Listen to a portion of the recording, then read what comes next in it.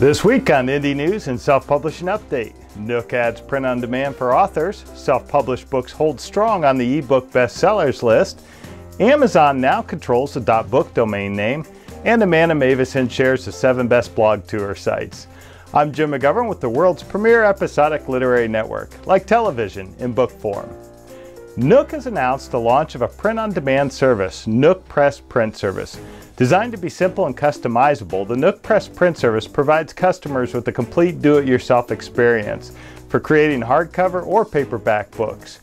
With no order minimums, the intuitive platform distills print bookmaking into an easy process that anyone can do well, even their first time. Check it out at nookpress.com. For the week ending November 8, 2014, Digital Book World reports that self-published titles comprise a fifth of ebook bestsellers, with three of them moving into the top 10.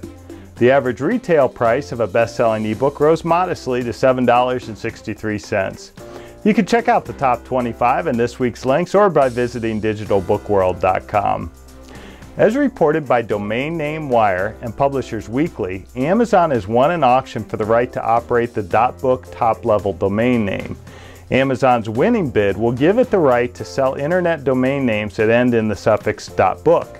Amazon won the auction despite a filing by the Association of American Publishers that opposed its bid as counter to the public interest. You can find the link to the article below.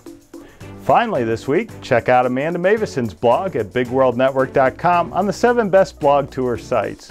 While it's no secret that doing everything possible to promote your book helps increase sales, there's certain things you can do in today's digital age that really make a difference, and blog tours are one of them.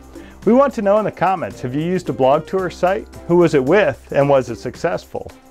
Next week, we'll be taking a break for the Thanksgiving holiday here in the U.S., but stay tuned for our next episode December 3rd. Want to learn more about Big World Network? Check us out at bigworldnetwork.com and subscribe now to our YouTube channel so you don't miss a single indie news and self-publishing update. Thanks for watching and see you in two weeks.